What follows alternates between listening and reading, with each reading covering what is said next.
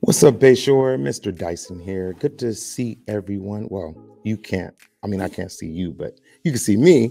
But welcome back to Bayshore Family Circle. Hope you had a great weekend. Let's get into some announcements for today, October the 4th. Hey, everyone. Um, so, first off, the Bayshore School presents All Together Now, a musical review celebration of classic and contemporary musical theater songs. After over a year of no performances, this show will celebrate musical theater coming back to stage. Um, students fourth through eighth grade are welcome to sign up to be in the show. You can see me for more details. Monday, October 11th, is Indigenous Peoples Day. There will be no school next Monday, so school will resume on Tuesday, October the 12th. It's almost here. Get excited for Saturday, October 16th, for our second annual block party from 11 a.m.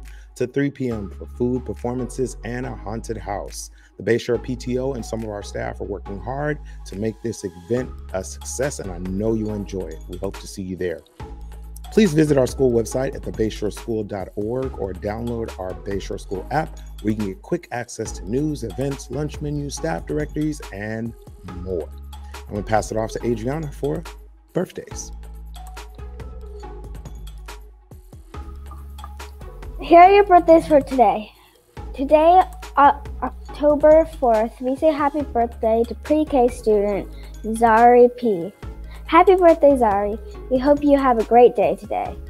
For October, we celebrate the heritage of Filipino Americans, German Americans, Italian Americans, and Hispanic Americans.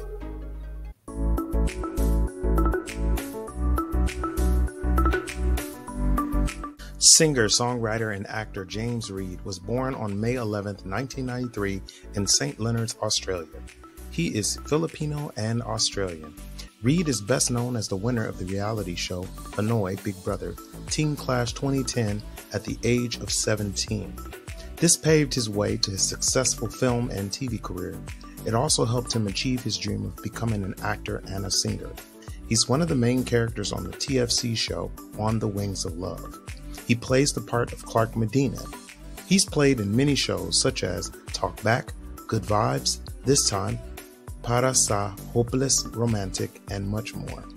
Reid has released an EP called We Are Whatever in 2011, his self titled debut album in 2013, a sophomore album called Reid Alert in 2015, and Palm Dreams in 2017.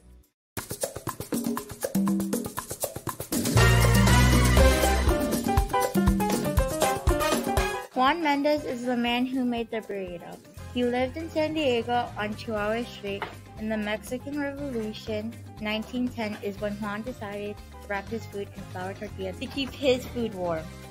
Did you know that burrito means little donkey and the reason why Mendez named it that is because he would bring his food around on his little donkey.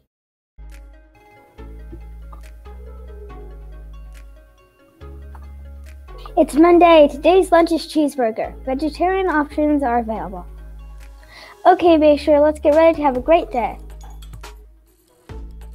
Are you ready to engage? Are you ready to educate? Are you ready to empower? Because who are we? We are the Bayshore School. Have a great Monday, everyone. Bye.